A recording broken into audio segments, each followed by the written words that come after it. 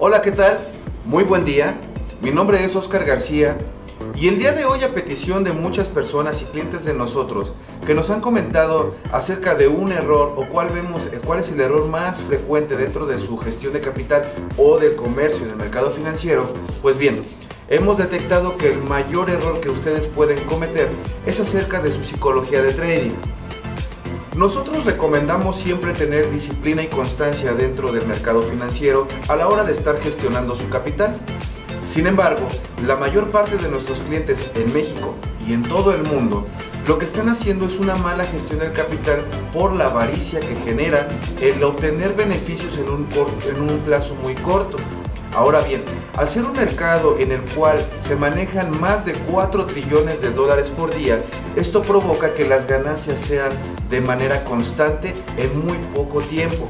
Ahora bien, ¿qué es lo que nosotros recomendamos en un momento determinado para que ustedes continúen teniendo una buena gestión y que la experiencia que tienen dentro de los mercados financieros sea lo mejor? Número uno, ustedes saben que hay que asumir los riesgos de pérdidas en un momento determinado si no se tiene una buena gestión. Tenemos herramientas que podemos utilizar para poder disminuir esos riesgos. Sin embargo, la mayor parte de las personas lo que hacen es olvidarse de esas herramientas porque pretenden que el mercado financiero realice lo que nosotros estamos pensando que va a realizar. Recordemos que nosotros somos eh, solamente un pequeño inversionista en un gran mar. Entonces debemos de obtener beneficios conforme el mercado vaya fluyendo.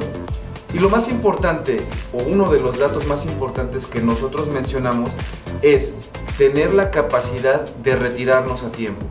La mayor parte de las personas cuando empiezan a gestionar el capital y están viendo que están obteniendo beneficios, lo que quieren es prolongar ese tipo de, beneficios, es decir, obtenerlos por mayor tiempo. Y eso se debe a la avaricia que tenemos cada uno de nosotros. Recomendamos que si ya generamos una estrategia, tenemos una buena gestión del capital, pues establecer nuestros límites para poder saber hasta qué punto poder retirarnos del mercado financiero y al otro día o en sesiones posteriores continuar con el comercio de manera correcta.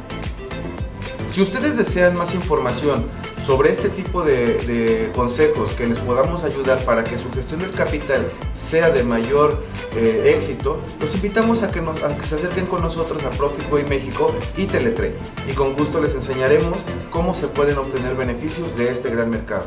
Muchas gracias.